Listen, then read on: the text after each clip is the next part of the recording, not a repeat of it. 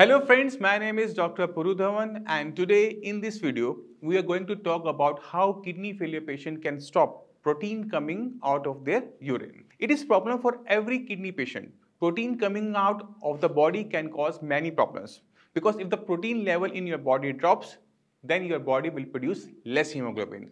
The body will get tired and the patient get weak day by day. That is why it is very important for kidney failure patient to control their protein levels in urine.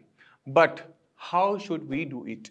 To understand how we can stop protein from coming out of the urine, we need to dive a little deeper into the medical science. When our kidney gets damaged, the nephron present inside the kidney primarily responsible for filtering out all the waste material like creatinine and urea.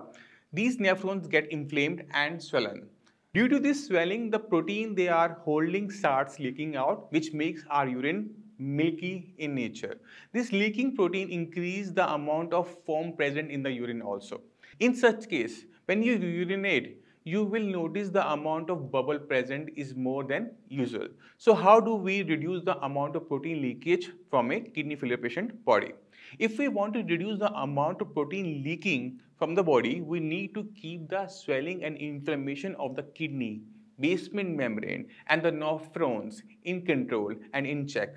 We can do this by removing anything that is harming the kidneys. So let me ask you a few questions and you answer the questions for yourself. First, do you have high blood pressure?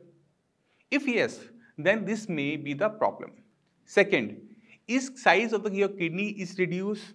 If yes, then this shrinking of the kidney which can also a result of high blood pressure is a reason for the leaking of protein. Or you have diabetes for a long time. So these work for 80% of the patient because if you have problem from high blood pressure, high sugar level, then these are the factor which are affecting your kidney. And as long as your BP remains high, your sugar level remains high, it will continue to harm your kidneys, which will also result in high level of protein in your urine and high level of creatinine and urea in your blood. So the first thing we need to do is to take out of these ailments from our body so that we can work on kidney with full concentration. Let's see how we can handle these issues. As you know, normal blood pressure levels are 120 by 80 mmF Hg. This level is for a normal average healthy individual. But do we come in the normal category? The answer is no. That is why our kidney needs extra care. For this, we need to maintain a BP a little bit lower than the average values. That is why always try to keep your blood pressure in a level of 70 to 80 mm of Hg, which is a diastolic blood pressure. Something between 72 and 75 will do. The second thing we need to do is to work on our diabetes. If you have diabetes and sugar remains beyond 180, that, that is around 200, 250, then you need to be more careful. Ask yourself, is your sugar level are normal? If your answer is yes, but in actual, your sugar remains on levels between like 180 and goes around uh, 250 after lunch, then this is not a normal for a kidney patient. We need to keep our sugar level normal for 24 hours always. So if we control these two, then ask a question yourself, will our kidney will be affected? The answer is no. Will your protein level in urine will fall? The answer is yes. But do you know there can be other reason as well for the protein in urine. Even stress can also result in protein leaking. During my practice, I have observed those patients as well who were highly stressed in their life. They did not have BP or sugar, but still they were suffering because of stress. When we have stress, we cannot sleep properly and our body starts getting damage and they are hard to repair. Small cells present in our body dies and new ones are made. But what will happen if these new cells are never made? Then we see different diseases, one of the which is kidney failure because all those cells are dying, which is natural process. But these are not replaced by the new cells if the patient is suffering from stress. At these places, what we see is inflammation and as the result of our body starts leaking out the protein in urine. Now, this protein in urine is not due to the BP or sugar and we get tense with no answers. For these cases as well, we need to work on the removing the root cause of the problem.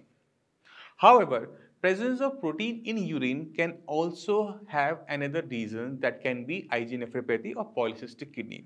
Even in these, we have to work on the root cause. Though we may not able to address all the issue because these are genetic. But still we have to take control to avoid worsening the situation. Now you have seen and understood how we can reduce protein in urine. When we remove these causes and control the level of bp and sugar then in maximum cases we can see improvement in their body.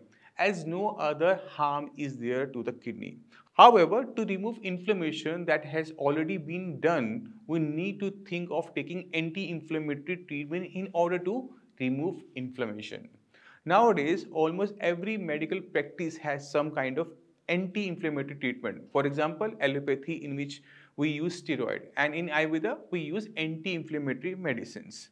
If we see and if you take treatment earlier, you might have observed steroid have side effects if consumed for a long duration. However, if we talk about Ayurvedic anti-inflammatory treatment, we focus on improving the functioning of the kidney because with this we can also bring down the high creatinine levels. With all this information, I hope you have now understood how we have to work on protein coming through urine.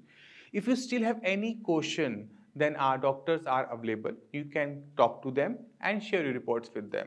Once you control the main cause of your disease with our help, then you will see not only your creatinine will go down, but your GFR will also increase and the symptom in your body will automatically disappear. Now it's time to say goodbye. See you in the next video. Till then, take care.